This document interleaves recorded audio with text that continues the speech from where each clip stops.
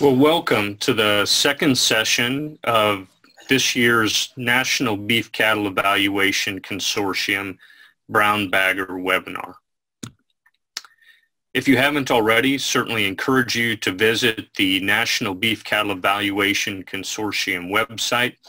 Among other useful materials, you'll also be able to find the recorded sessions of these webinars, including previous year's uh, series. I'm your host today, Matt Spangler. I'm a faculty member at the University of Nebraska-Lincoln. Uh, and I, along with my colleagues, Bob Weaber at Kansas State and Darrh Bullock at the University of Kentucky, are certainly pleased to have been able to put together and offer uh, this webinar series to you guys. Today's session is going to focus on improving cow productivity and longevity. And we have two speakers today, the first of which will be Dr. Warren Snelling, who's going to visit about some of his more recent work focusing on stayability and other tools to select for efficient cows. Warren, as I'm sure many of you know, is a research scientist at the U.S. Meat Animal Research Center in Clay Center, Nebraska. Warren completed his bachelor's degree in animal science at Kansas State and then after graduating, he spent a couple of years in industry, one at a Hereford ranch in the Texas Panhandle, and then another year actually in the feedlot industry near Tribune, Kansas, uh, where he was a pen writer. Um, he then decided to continue his education at Colorado State, where he received both a master's and a PhD. His PhD work with Dr. Bruce Golden, whom I'm sure many of you know. After that, Warren spent a couple of years as a postdoctoral research associate at the ARS facility near Miles City, Montana, working with Mike MacNeil. After his postdoc experience, he went to Beefbooster in Calgary, Alberta for about five years before winding up uh, in Clay Center, Nebraska at US MARC. I'd also note that Warren received the BIF Continuing Service Award in 2014. Our second speaker today is going to be somebody who uh, obviously this audience would know quite well, and that's Dr. Bob Weaber from Kansas State, who's going to talk about some of his group's work that have focused on the genetic evaluation for feet and leg structure. Bob is obviously a professor and extension cow-calf extension specialist at Kansas State. And before arriving there in 2011, he served in a similar role at the University of Missouri. Bob's focus of his extension and research programs are really uh, to broaden the availability, use, and understanding of genetic selection tools in the beef industry. Bob grew up on a cow-calf operation in southern Colorado uh, and then went on to earn a bachelor's degree in animal science at Colorado State and a master's of agriculture degree in the beef industry leadership program also at Colorado State. He received his PhD from uh, Cornell University, and while working on his PhD, also served as the interim director of performance programs for the American Simmental Association. And previously, uh, he was the director of education and research at the American Gelbvieh Association. Bob has received numerous awards, but two that I would highlight are the Midwest section of the American Society of Animal Science Extension Award and the Beef Improvement Federation's Continuing Service Award. So with that, I'll turn it over to our first speaker today, um, which is Warren Snelling. While Warren is bringing up his slides, I might remind the audience that if you have questions for our presenters, please enter those into the chat box.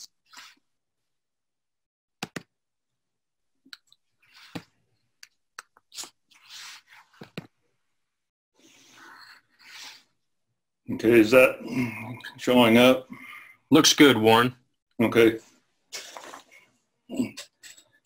Yeah, so, you know, this is a little bit of work I've done recently, but it goes goes back to, you know, what we did at Colorado State um, when we started with the stayability EPD. Um, so there's a little little history to go along with with this. Um, you know, just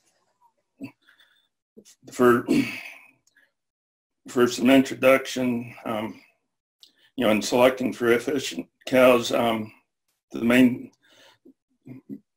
main de- definition I have for efficient for an efficient cow is that she's a fertile cow, and you know, so you know, when we started developing EPD, um, we were looking for something to select for cow fertility. Um, you know, there's you know a lot of the economic work, you know, emphasizes that reproduction is more important than calf growth or carcass characteristics and any sort of production system index to improve biological or economic efficiency. And, you know, some of the work here, you know, from Tom Jenkins and Cal Ferrell was, you know, showed that variation in fertility explains more variation in biological efficiency than cow weight intake or calf weight. Um,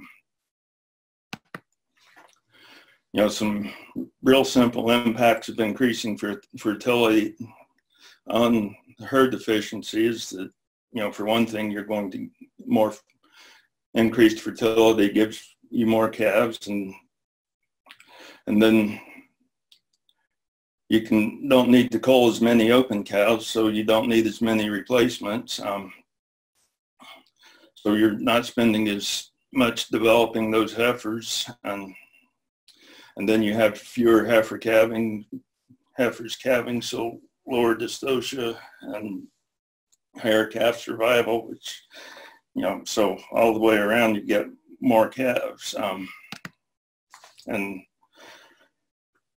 you know, some of the tools that we talked about a long time ago for selecting for fertility, um, you know, we could use you know, the birth weaning and yearling weights and somehow, um, and then calving EGPD and scrotal circumference. Um, you know, with for birth with birth weight and calving ease, we can select against dystocia, against dystocia and the effects on calf survival and rebreeding. Um, you know, with the growth EPD, birth weight, weaning weight, and yearling weight, we can try to avoid the large high milk cows that might not be able to stay in condition and and rebreed. Um, and you know, with lower condition is associated with lower fertility. And you know, scrotal circumference has been used to select for earlier puberty and heifer pregnancy, and you know, with and the you know, the heifers that conceive earliest are expected to have highest lifetime productivity. But, you know, none of those were a real good answer. And,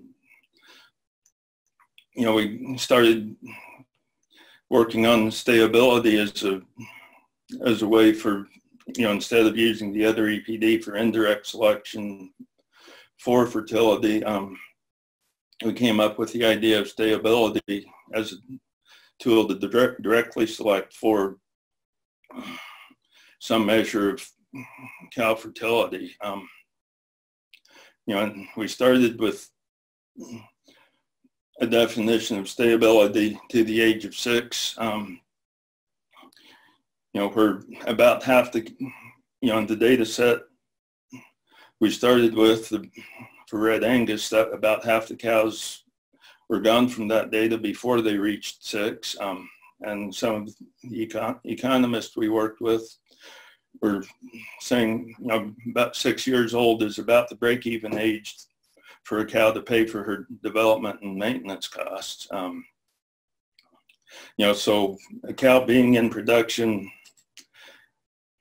at the age of six is a useful indicator of fertility if reproductive failure is the primary culling criteria. Um, you know, if there's other reasons for a cow being culled besides reproductive failure, then stayability might, might not be that good an indicator of fertility. um, you know, some, you know, when we started with stayability, we didn't have the whole herd reporting that we do today. Um, you know, so our original definition would have allowed a successful ob observation, you know, with with two calves reported, just one before and one after the age of six. Um, and and in that data, we could not distinguish between reproductive failure or failure to report the, failure to report the calf to the association. Um, you know, so whole herd reporting can fill some of some of those those holes, but requiring a annual record on each breeding female. Um, you know, that could be, you know, record of the, the calf or a reason for not having a calf or, or culling reasons. Um, and that's allowed better definitions of, of stayability, you know, where now at least some associations require a calf every year. Um, you know, and and that stayability to six, you know, means you don't get an observation in, until the cow's at least until the cow's six, six years old and her sire's at least eight. Um, so we don't we don't have you know any you know all we have on the young younger bulls are EPD that are um, low accuracy parent averages. Um, you know, more recent work at CSU looked at stayability to younger ages and an aggregate stayability that include observations on younger cows and and then some work out of Guelph, you know, looked at stayability to consecutive calvings with a random regression with using observations for each op opportunity to calve. You know, another problem with stayability is that, that it's a binary measure, either success or failure. So we don't pick up differences that might be, you know, where we ideally cows are going to conceive early in the breeding season and we don't get the difference between see anything between early and late conception in the stayability observation. Um, so, you know, with the records that we have now, um, we started thinking of some other things we might look at instead of stayability. Um, you know, the, you know, one thing you know, I know see, there, there's a little bit of work early on on some cumulative productivity traits and then you know with the random regression approach we can you know we can do a cumulative pro productivity with observations for you know every opportunity a cow has to has to calve um, so that so that you know those you know, the records from each breeding season might be more informative than just a single observation of stayability or some other productivity trait. And we're also interested in how stayability might be related to cow weight and efficient and efficiency. So, and we have annual record, at least in our germplasm evaluation data set, we have annual records of cow weight so we can you know look at correlations between pro productivity and weight um, some of the existing literature says that it, that weight is negatively correlated with stayability, um, and some early work you know show the negative relationship between cow weight and the number of calves weaned and total weight weaned by a cow. Um,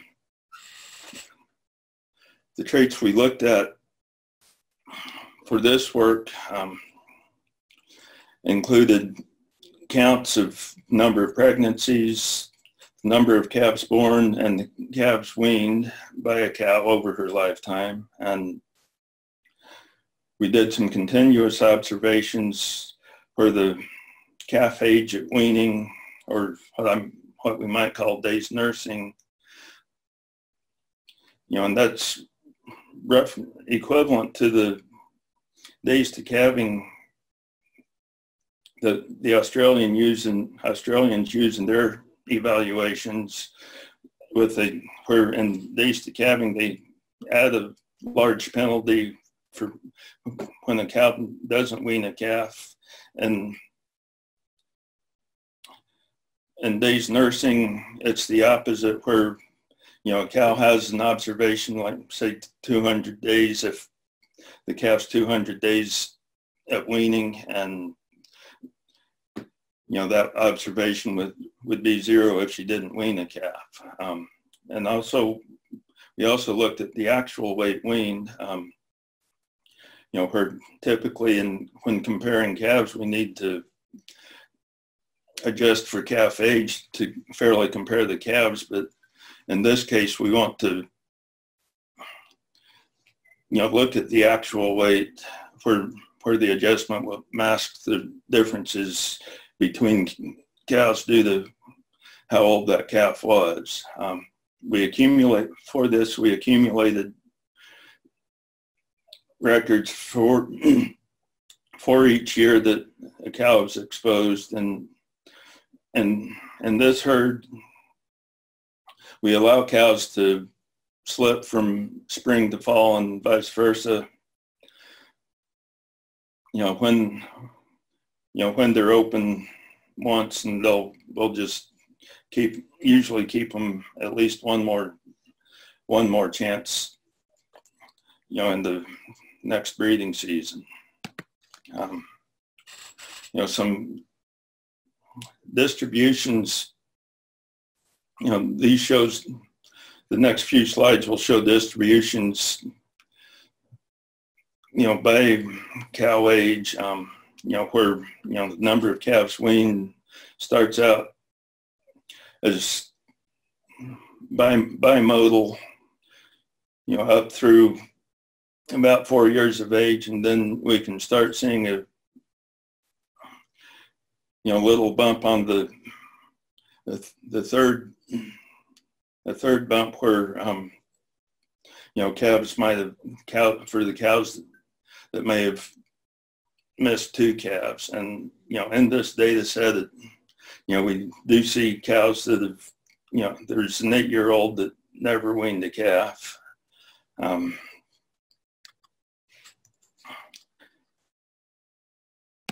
and the days days nursing, you know, start looking a, a bit more normal, and and the weight weaned will be about is about the same where you know these traits are a little little bit more normally distributed than the count traits. Um, you know, in the random regression approach, we get heritability projected out to each age. So the, you know, all, all of the productivity traits you know, lowly heritable in two and three year olds and that increases with age. So, you know, at six to eight years, years of age, the, you know, the, all the productivity traits are reasonably heritable. The continuous traits, um, you know, the weaning age or days nursing and weight weaned are a little bit more heritable than the count traits. And the cow the cow cow weight is highly heritable across all ages. And you know there's looks like we have a little inflated heritability towards the end um, that I think is just an fact of not many cows contributing to the older observations. Um, and we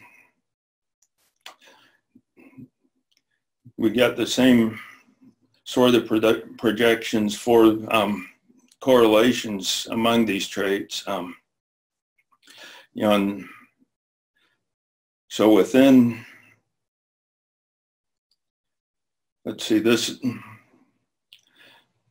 within, you know, either the productivity or the weight traits, you know, all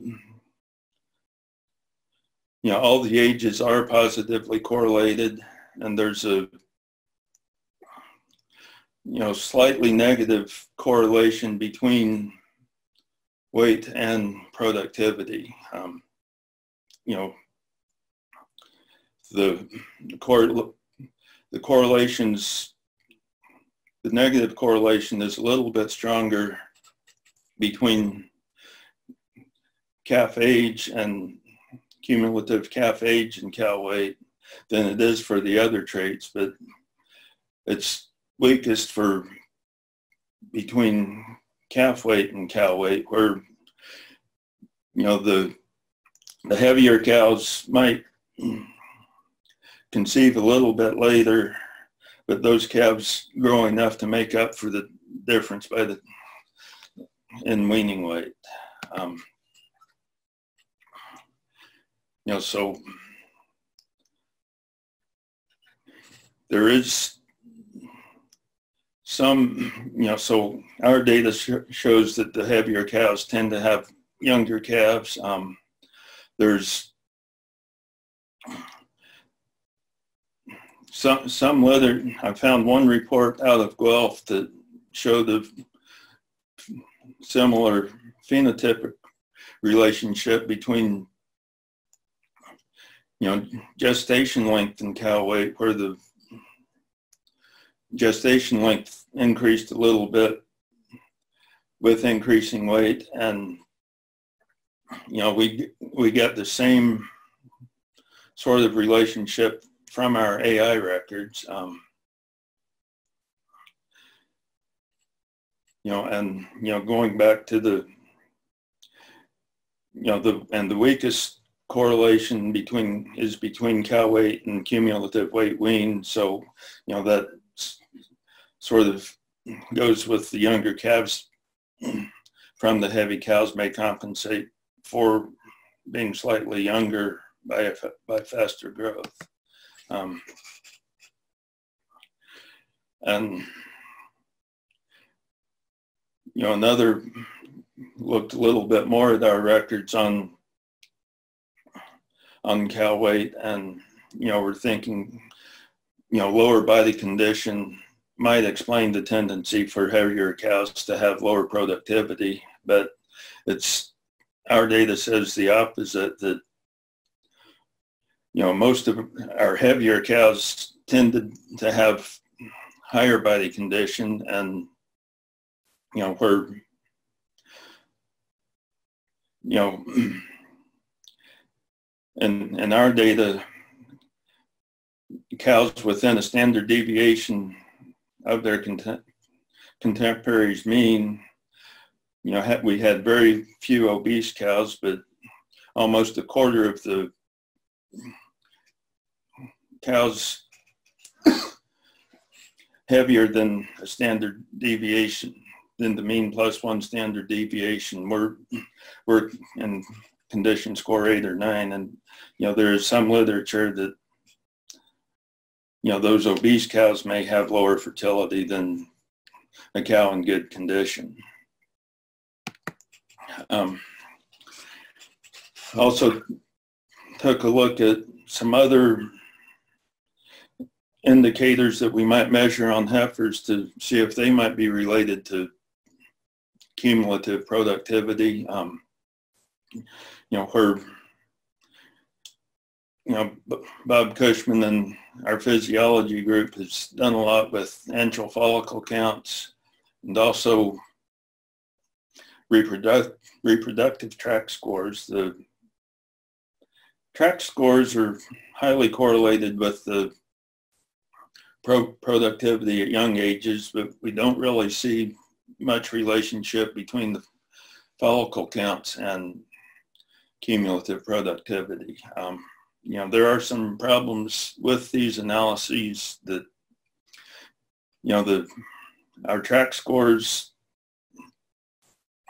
are mostly, you know, fives and sixes, which which are heifer cycling. Um, you know, where the difference between the five and six is whether or not they've ovulated. Um, and, you know, our data includes some, the GPE data includes indicus influenced females, and there's a strong relationship between, you know, indicus content and follicle count where where the indicus females tend to have a lot higher follicle counts, but they don't have the fertility that we'd expect from a in a Taurus heifer. So there's so I'm redoing some of this work to look at some other indicators that you know based on these two traits that might work work better. Um, and you know some other things we did on you know in our cumulative productivity work was you know, looking some at some responses to selection. Um, you know, where you know the cow weight increases that we see throughout the industry is you know probably a response a correlated response to selection for calf growth. And if we you know the re- relationships we found in these data just following the industry yearling weight trend for the yearling weight EPD trend would we would you know have pretty some decline in productivity, but probably wouldn't be noticeable over year to year fluctuation. Um, and we could overcome that that decrease in productivity simply by calling open two and three year old females. If we, you know, you know, I've heard a lot of people talk about, you know, if you, we want to, you know, selecting maternal bulls for, and, you know, selection for fertility, we can keep bulls out of out of older cows. So, you know, if we, you know, cull, cull our open females and save our bulls from cows that would have had a successful stayability. um, we might get a little bit of increase over the, the decline in we'd expect from selection for yearling weight. Um, and we'd get a little bit better if we use EPD for the productivity traits, um, you know, you know, the taking the top 10% of the productivity EPD bull calves would double the progress over selecting bulls out of six-year-old or older cows. And if we look at accuracy, consider accuracy and pick the highest accuracy bulls, then we get a, a lot more noticeable increase in the productivity traits. Um, you know, to try and summarize this, um, you know, we started with the stayability EPD, um, and you know that gave us that gave us a start, but also put us on the road towards more complete cow productivity records. And the, the records we've collected since then might allow a more comprehensive evaluation of female fertility and efficiency. Um, and you know the records we can get on the young cows are informative to project EPD for productivity at later ages. Um, you know, so we can get some accuracy on young bulls without waiting for their daughters to mature. Um, you know, there's a the the industry trend of increasing cow weight is correlated to selection for calf growth.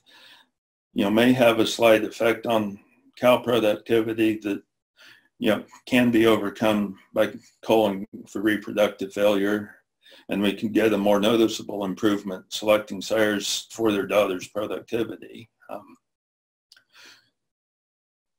you know, some of the things we really need to work on now include, you know, bioeconomic values for the productivity and weight EPD. Um, you know, working, you know, maybe working these traits into selection indexes, um, and also some work on genomics, you know, trying to identify,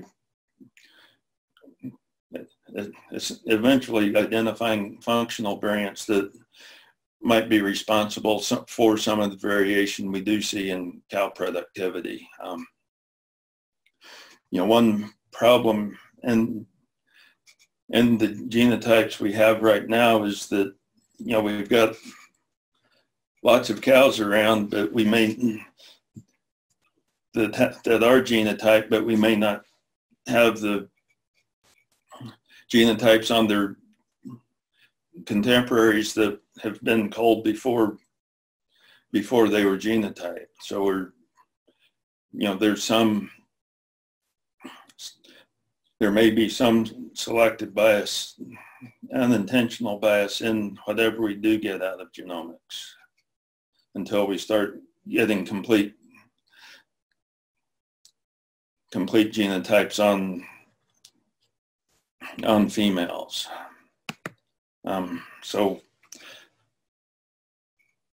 you know that that's all I have on this. If I try and field any questions. I don't know how that's going to work on this, but. Yeah, thanks, Warren. If, if people have questions, you can type them into the chat box and I'll wrangle them and, and ask our, our speakers. Um, Warren, why, why perhaps Bob is, is transitioning his slides up and we see if there's any questions. I've, I've got a couple for you. On, on the trait that's essentially weight weaned, are those records, you said they're not adjusted for age of calf, which makes complete sense, but are they still adjusted for sex of calf and perhaps age of dam? Oh, they're not adjusted for age of dam because we're comparing within same age cows. Oh, that's right. Yep. Yep. And I've I did, I've rented a couple ways with and without a sex adjustment or, you know, and actually the sex adjustment was, um, I'd have to go back and, you know, it was essentially, a, you know, counting steers, bull versus heifer calves. Okay. Maybe an, another uh, just quick question, Warren. I, I, appreciated the response to selection um, values you had on one of your last slides, and I was trying to understand uh, the last two scenarios. One was using EPD on on essentially young bulls, and the next one was EPD on on high accuracy sires. And it looked like there was about a four to five fold difference in the response. And so I was just curious of the assumptions you made about um, what was high accuracy and what were the age of the bulls that were high accuracy? I didn't look at those at the ages and and I I think I used to I'd I'd have to go back and look, I, I think I used the think of a point eight. Okay. Yeah, where I, where I was getting to is there'd have to be a, a pretty big difference in accuracy because you're you're also going to increase generation interval in that, and I, right. I was curious about that trade-off. But yeah,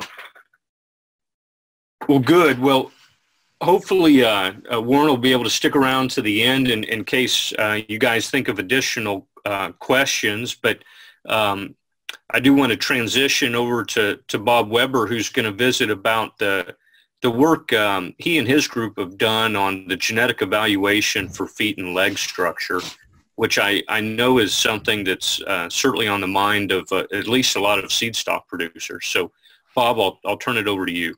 Great, thank you, Matt. Uh, appreciate uh, your hosting duties today and uh, and the nice intro. Warren, uh, good job. I, I, found your work really interesting on the uh, sort of cow longevity and, and really appreciate your thoughtfulness there. Um, as we sort of start thinking about uh, genetic evaluation for feet and legs, um, one of the things that will become obvious to you all as we start through this, my comments aren't constrained entirely to cows, um, and, and I'll explain um, part of my motivation for that in, in just a minute. Um, but uh, before I go further, I want to just acknowledge some of my uh, uh, colleagues and co-authors. Um, uh, Lane Geis and uh, Brady Jensen were the two graduate students, master students here at K-State that worked on um, uh, these projects really and uh, Dr. Jenny Bormann, uh, a colleague and faculty member here at K-State in our animal breeding and genetics group um, has helped a lot on these evaluations as well and um, in fact, uh, we, have sort of been tag teaming our um, uh, PowerPoint presentation. So uh, uh, she's she's the author of a, a, number of slides in this in this talk as well. So um, tip of the hat to uh, to Dr. Bormann.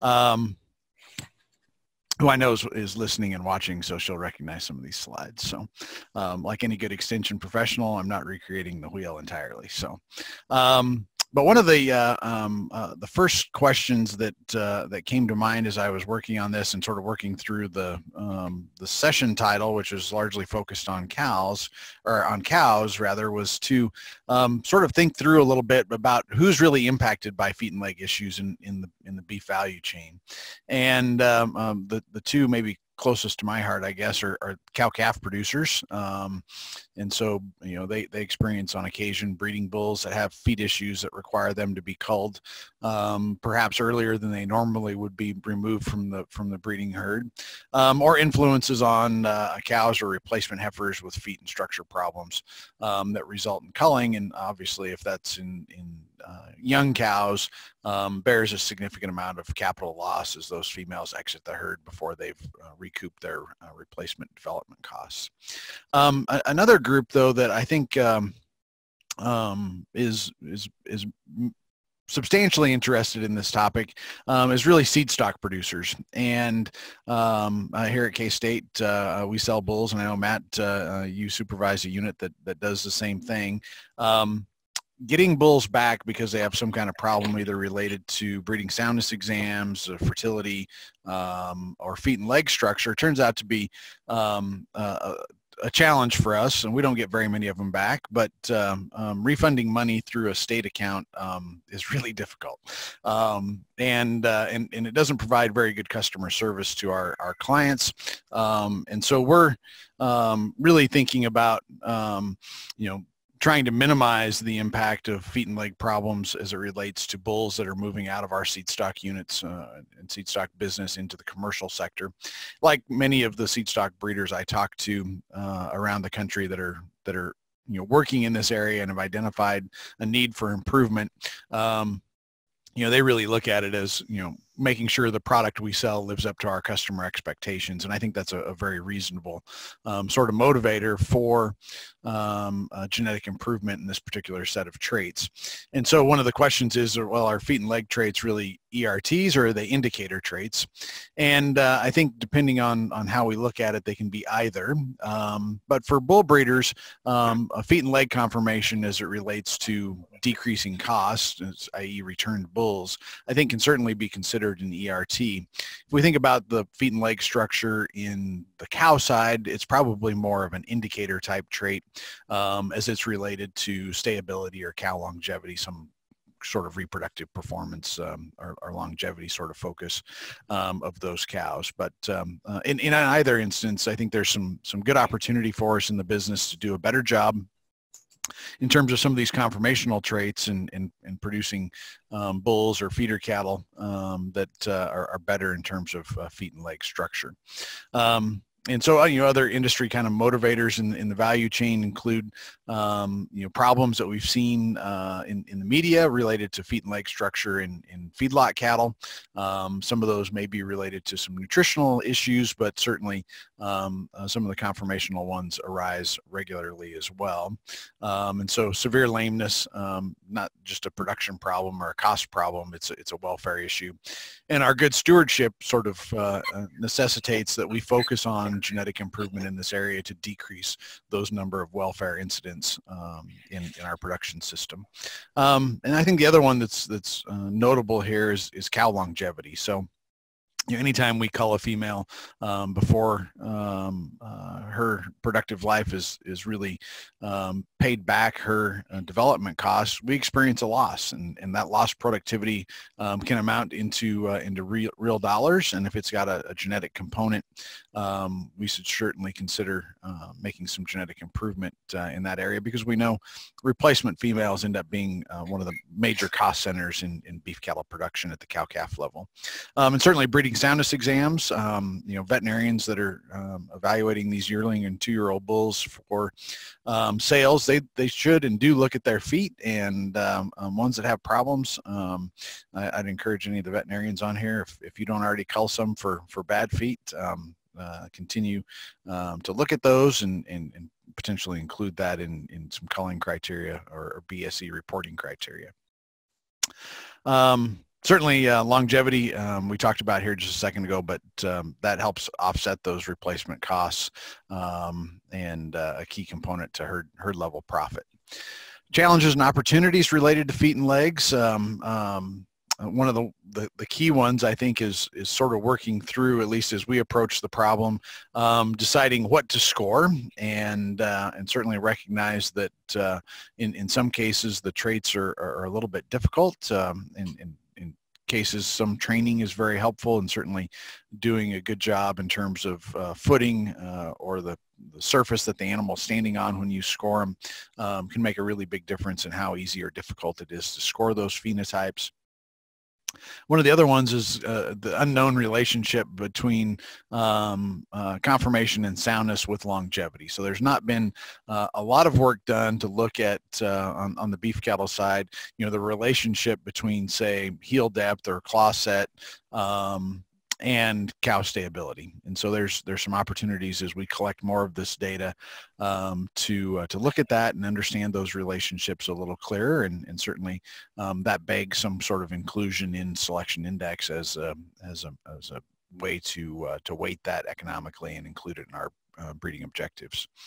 Um, some of the benefits obviously here of scoring and evaluating soundness um, i think one um, is that we get to understand those relationships with soundness and, and longevity.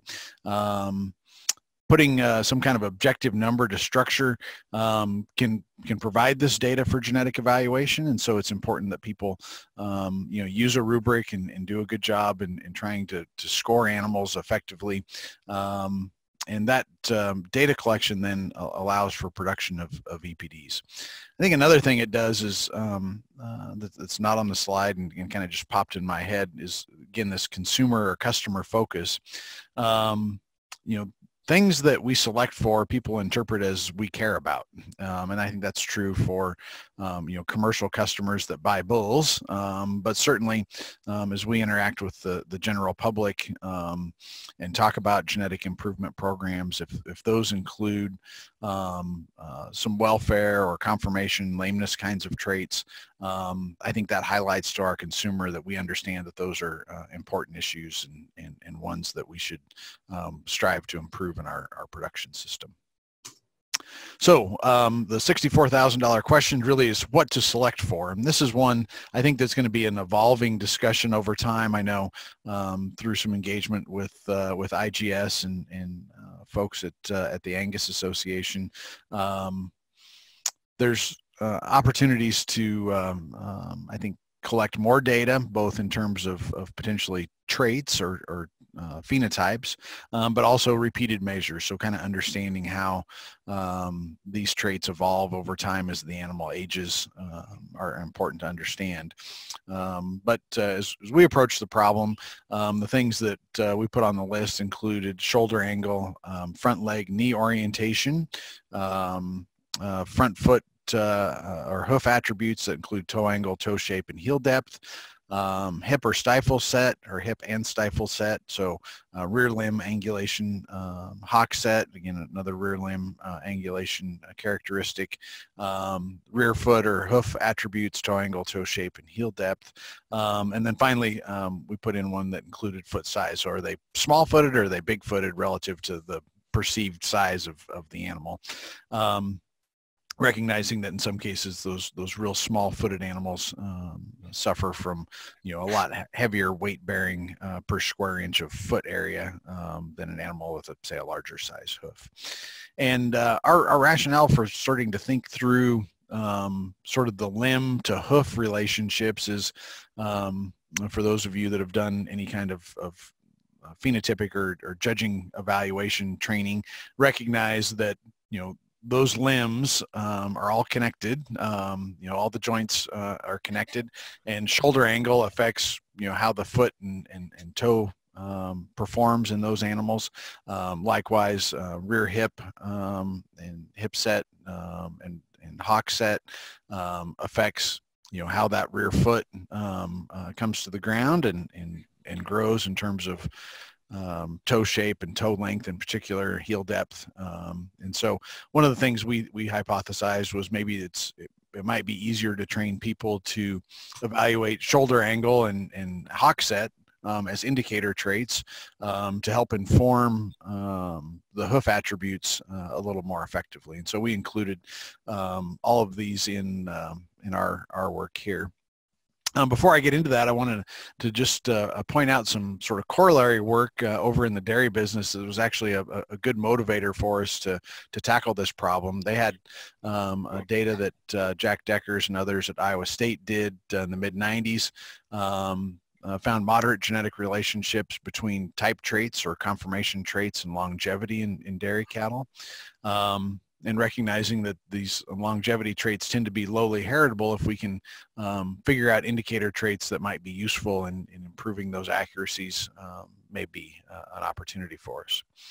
Um, the heritabilities out of the dairy studies, um, you know, foot angle, um, so that's the, the front angle of the toe um, as it goes up to uh, the coronet band into the pastern, um, represent somewhere between a 0.1 to 0.12 kind of range. Um, rear leg side view, so this is primarily hock set from viewed from the side uh, between 0.15 and 0.22. Um, rear leg rear view, so this is, you know, our cow is hocked in or hocked out, so um, uh, when viewed from behind.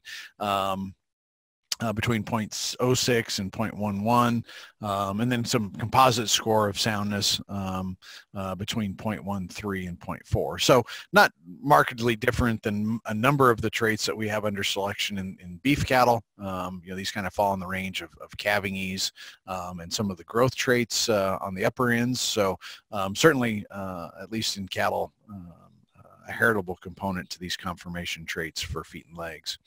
Um, the uh, the Holstein Association actually publishes a set of these traits in their genetic evaluation system um, that involve uh, feet and legs. Um, so rear leg side view uh, has a heritability of about 0.21, a rear leg rear view, so that's the do they cow in or not uh, from behind, uh, 0.11, uh, foot angle 0.15, um, and then a feet and leg score composite heritability of 0.17. I think the really interesting bit is that they, they calculate a feet and leg composite index from these traits. And that feet and leg composite index is included in um, uh, sort of a net merit or total performance index um, at, at the Holstein Association. So they recognize the connection between these conformation traits and expected productivity of um, those Holstein cows as they work through um, their productive life and lactations. Okay. Um, research on the beef side, uh, just a, a, quick couple of notes to, uh, there's not as much literature on the beef side um, as, as there is on dairy, but uh, um, Dave Kirschten, um, during his master's work at Montana State in, in uh, the late 90s, early 2000s, um, used um, uh, a set of data collected through ABS on their uh, GTS or genetic trait summary data um, and had uh, about 13,000 records for a variety of um, uh, type or conformation traits and found heritabilities for these feet and leg um, traits in the in the point twos, so encouraging. Um, some international data. Italian Chianina looked at uh, um, uh, conformation scores um, for hind leg structure. So um, they found that the, the really straight or post-legged animals um, from behind had uh, a much higher probability, 59% higher probability of being culled um, compared to uh, females that had more moderate uh, hind leg angulation um, and the ones that were kind of really sickle hocked or had a lot of angulation um, had a markedly lower probability of being culled. So in these cases, we often see that to one direction from what we perceive as optimum as humans um, in our evaluation um, tends to have maybe a little bit lower uh, impact on um, functionality than the other direction. So in this case, you know, the really extreme straight-legged ones um, had uh, a lot higher probability of culling than the ones that were more sickle hocked, which would tend to, we would say, have more um, flex or suspension to them um, uh, as they move through the production system. So um, the other group that's done uh, a lot of uh, work um, uh, recently in, in, beef cattle um, and published in 2012 was uh, the, the data collected through uh, Australian Angus. Um, and they initially uh, reported in this study um, about 7,000 records analyzed and across these six traits, so foot angle, front claw shape, uh, so front foot angle, front claw shape, rear foot angle, um, rear uh, claw shape, um, rear leg hind view, and rear leg side view. So again, these kind of limb angulations in the back uh, of the animal. And um, um uh, good heritabilities here. So point threes, uh, upper point twos uh, for many of them. Um, the rear leg uh, attributes a little bit lower than the foot or hoof characteristics, um, but still uh, pretty modest um, heritabilities of 0.17 and 0.2. So this was some of the, the real founding work um, um, at, at, the beef cattle breed association level um, to get us motivated to uh, to collect more of this data here um, stateside. And um, uh, American Angus is, is working uh, uh, with a, a, similar scoring system here. These are images provided um, uh, in the publications from Australian Angus. Um, that um, I wanted to show to get kind of everybody's uh, head what these phenotypes look like. Um, so measured one to nine, um, and this is um, um, claw shape. Um, and so we have these kind of really open and divergent uh, uh, claws to ones that have, you know, a fair bit of curvature and crossover of the toes or scissor claws it's sometimes called, scored out here to nine ideally we like to see animals kind of in the middle of this scoring system somewhere around a five. Okay, so that's claw set. Um, uh, front foot angle, uh, rear feet angle um, is primarily a reflection of heel depth and toe length. So those two things are, are closely connected. Um, five is desirable. Um, as we move up in, in numeric score towards nine, those animals tend to get fairly shallow heeled. Um, and so um, the toes tend to grow out a little bit more on those cattle. And so they kind of get long toed, shallow heeled. Okay. Um, uh, rear limb angulations, um, so these are um, uh, when viewed from the side. So one down here is a real poster straight-legged um, rear limb uh, on a critter. Um, a nine is one that's got a fair bit of, of curvature or set to their hock, um, and we like to see them somewhere kind of in the in the middle again of this this scoring system. Um, uh, rear leg rear view. so this is you know do they um, at the hock here, um, the hock joint, do they bow out? Um, that's a one. A nine is one that's real cow hocked from behind or, um, you know, uh, hock joints uh, close to each other to each other when viewed from behind. Again, a five is, is desirable where that um, hip to hock to, or hip to stifle to hock to pastern is all kind of in a straight line. Um, we have a tendency to think those are the, the most structurally correct or soundest animals. Um, and so they're kind of in this, this middle category of five. Um, so taking from some of that work, American Angus has initiated a, a, a scoring system and, and genetic evaluation. Um, at present have uh, in excess of 20,000 uh, observations. Um, and so breeders uh, are actively collecting that data um, and they score uh, two traits, so foot angle, so this is the kind of the toe length, heel depth uh, characteristic, um, and claw set, and and score the worst foot on the critter. And uh, when they do that, uh, they find heritabilities for uh, both traits of around 0.25, and with a, a, a, slightly positive but low genetic correlation of about 0.22. So um, this heel depth and toe issue is separate uh, largely from um, the claw shape and claw set issues. Um, so two kind of distinct traits there. Um, and uh, they've used um, uh, a variety of uh, breeders can send that data in as well as um, they work closely with a number of collegiate judging teams to go out and collect that data in the field. Um, one of the things we found uh, in, in, interaction, uh, at least here at K-State with, with breeders on this is sometimes if they don't have a pretty strong judging background or livestock evaluation background, they're not real comfortable collecting these phenotypes. Um, so some training and, and mentorship and, and data collection can really be um, helpful in building confidence to score these. They're, they're pretty easy to score once you get the knack for it, um, but sometimes people are a little, little hesitant to do that.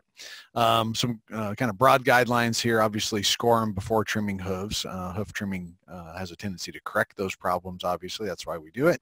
Um, score the wor worst hoof. Um, score at yearling time. So um, typical yearling uh, age collection windows uh, apply here.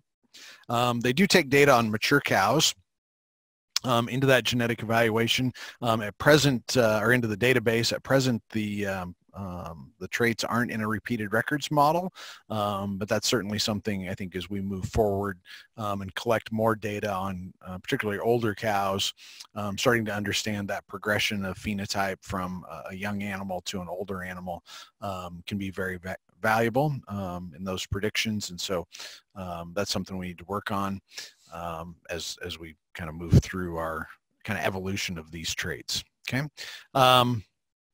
One of the other things that, and, and, I didn't point this out earlier, but is is really a challenge in these traits is that they're in uh, kind of a, a set of traits that we think of intermediate optimum. So uh, a five is ideal, um, and a one is not good, and a ten or a nine is not good.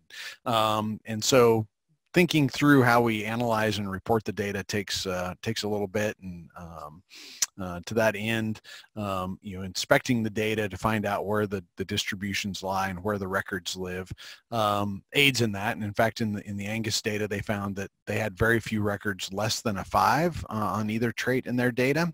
Um, and so by simply, you know, editing those records out and focusing on uh, the majority of the data or vast majority of the data that's a five or greater um, uh, helps simplify that analysis procedure some.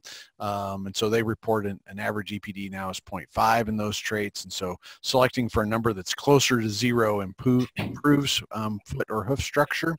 Um, and that's a, a, really important sort of interpretation that unlike a number of other EPDs where, you know, the bigger the number the we sort of have an inherent perceived improvement um, in these traits actually getting closer to zero um, is, is viewed to be more ideal or towards what we think as humans is the ideal structure. Um, and they've recently, and, and, again, sort of uh, a hat tip to uh, uh, folks thinking about the economic importance of these, um, included in the, the new dollar M index at, uh, uh, at Angus. So um, feet and legs uh, structure plays a role in a maternal index. And I think that's a, a really valuable evolution of and, and useful way to kind of use and interpret this data. Um, some of the work we've done here at K-State, and I, I wanted to spend a, a, couple of minutes here kind of highlighting some of the work we did um, uh, in Red Angus and Simmental cattle. So we've got uh, uh, really two kind of parallel projects going um, in Red Angus and Simmental. And uh, we wanted to investigate those relationships between feet and leg structure and production traits. Um, and so I'm going to summarize, uh, Elaine Geis is currently working through uh, and, and, added a, a, fair bit of records to our Simmental data. Um, uh, so we'll, we'll leave that to, to Lane to summarize for us at, at some point. Um, this is going to focus on the, the Red Angus portion of that data that both Brady and Lane worked on in their thesis projects. Um, and here's the traits that we collected. So there's, uh, I think, 13 of them on here. Um, and um, um, so we had body condition score, um, all the front and hoof angle, uh, heel depth, claw shape, side view, knee orientation, um, front foot hoof orientation. So we, we captured a lot of data um, and we would score these animals uh, at least two uh, trained observers for each animal. Um, and it would take a couple of minutes apiece um, for each of these evaluations. So a, a pretty big uh, investment in time to get all the data collected here. Um, some of the uh, traits that we looked at, um, in addition to the ones I've already described that came through in, in the Angus uh, data from either the US or Australia, uh, include this knee orientation or front uh, feet side view, so kind of the knee and shoulder. So these animals that are buck-kneed um, or calf-kneed. Um, and I should point out, we used a, a zero to a 100 scaling. Um, one of the things we were interested in is do we lose information if we go to a very coarse scaling of one to nine? Um, and I'll tell you more about that in just a minute. Um, but we scored from zero to 100. Um, so buck kneed would be down here at a 10, calf kneed where they're back at the knee, um, uh, up at a 90, and uh, 50 is kind of the perceived ideal in the middle. Um, uh, front feet, front view, or uh, you know head-on kind of view if they um, you know knee in or knee out. So if they're kind of uh, pigeon-toed or bow-legged, uh, whichever way you want to think about that. Was one of the phenotypes we looked at. Um, rear leg um, side view, so cow-hocked, we already talked about this one in the Angus data. Um, rear view of the hind limbs, again, scored 0 to 100. Um, and um, of course, we captured the data to, to observers, um, and then we averaged those to reduce uh, score bias. had 1,720 animals in the evaluation represented um, uh, a pretty sizable chunk of the uh, population here in the Midwest. Um, and here's the distribution in, in age. So of course, mostly yearlings and two-year-olds, a few three-year-olds uh, as we collected that data. Um, and so not not atypical of when you go into these herds that they're sort of front weighted on on age both as representation of sale bulls that were available to evaluate um, but also uh, fairly large numbers of replacement heifers retained in those herds as well. Um, here's the age distribution of those uh, uh, females um, and the males. So obviously most of the bulls we evaluated oh, all the bulls we evaluated were one or two year olds um, females ranged from yearlings up to, um, we had a few kind of aged cows up above 10. Okay. Um, heritability estimates out of our um, uh, analyses um, were fairly similar to what we observed in, in other literature, either beef or dairy, um, kind of the upper teens um, in many cases or uh, low point twos somewhere. Um, so we were encouraged by this, particularly given how small a data set we had, that uh, we were able to find these um, uh, heritabilities and um, some of the genetic correlations that existed between traits. Now, I'll, I'll, warn you that it's a fairly small data set, so um, even though these genetic correlations have fairly small standard errors, there's, there's probably some room for movement as more data comes in. Um, but what we found was that front foot hoof angle and front foot heel depth, so that toe length to heel um, is is really the same trait, essentially a heritability or genetic correlation of uh, about 0.9. Um, the front foot uh, hoof angle and rear foot uh, hoof angles, uh, so the same trait just measured front or rear, um, a strong genetic correlation about 0.88. Okay, um, front foot hoof angle and rear foot heel depth 0.85. So these traits, the, the hoof traits were strongly correlated um, for toe angle and heel depth front to rear and trait to trait. Um, the um, um, uh, rear feet, same same kind of relationships here. Um, strong genetic correlations between those uh, hoof attributes uh, amongst them.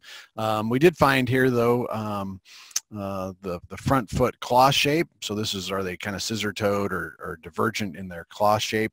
Um, a little bit lower genetic correlation, but still fairly strong at 0.75 between the front feet and rear feet for claw shape. So um, we found um, uh, our sort of conclusion was that um, you know a strategy of uh, either combining those uh, scores or evaluating the worst foot um, is really not uh, an unreasonable way to uh, to capture that data um, because of these strong relationships that exist. Okay.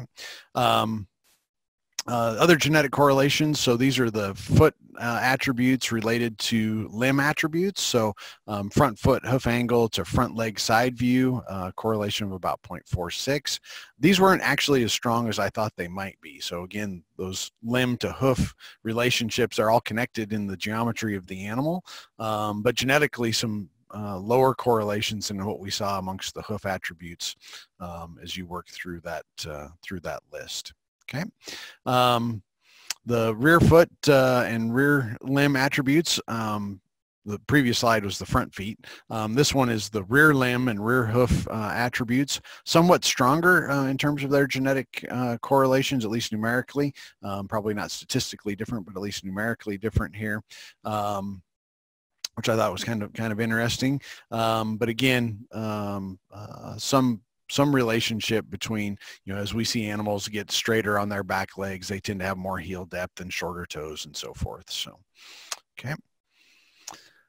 Um, one of the interesting things uh, that, that we did in the project, at least I thought was interesting, was uh, compared um, uh, evaluation of the scores on this 1 to 100 scale um, versus if we just went and truncated the data into into nine point bins um, did we lose a substantial amount of information when we did that truncation? So we didn't round we just truncated. And um, um what you observe here is that the the heritability estimates are within typically about 0.02 um, units um, when we went to the the compressed scale or the the coarser scale uh, as compared to the really fine scale. And so that, that tells us a couple of things. One, I think is um, a one to nine or one to 10 scale is, is fine enough. Um, or um, the 1 to 100 scale, we're not able to be this sort of an accuracy versus precision kind of argument um, that we may induce, um, you know, some measurement error as we try and decide, you know, is this one a, a 65 or is it a 67 instead of just calling it a 6 and moving on.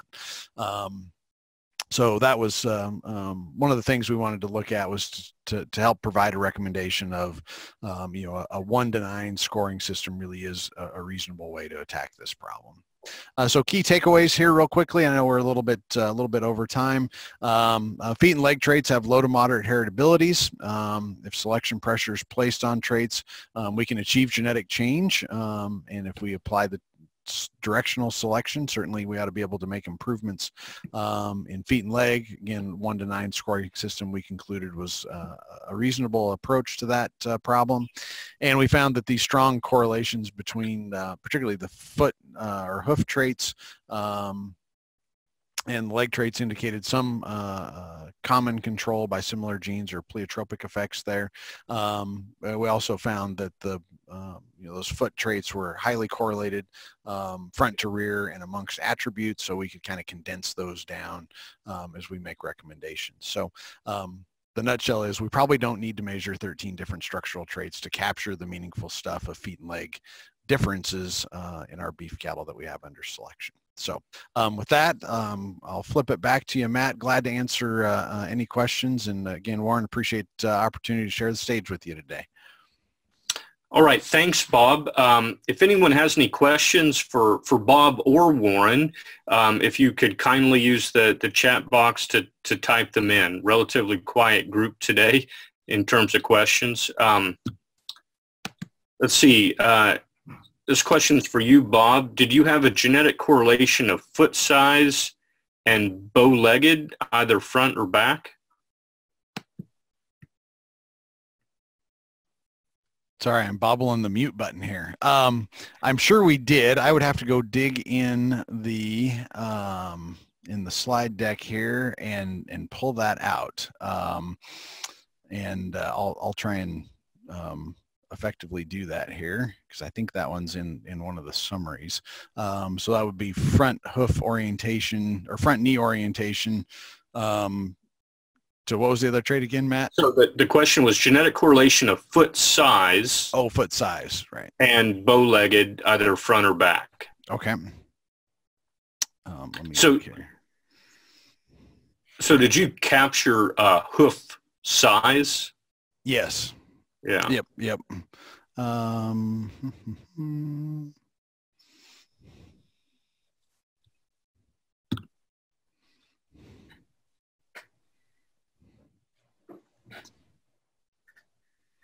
Yeah, I'm gonna have to do some do some digging. If whoever asked that question, shoot shoot me an email and I'll I'll dig it out of our analysis. Um, I'm I'm sure it's in there. I just don't have it happen to have that summarized in uh, um, in the slides here, um, which is probably a um, indicator that uh, maybe it wasn't real remarkable. So, yeah.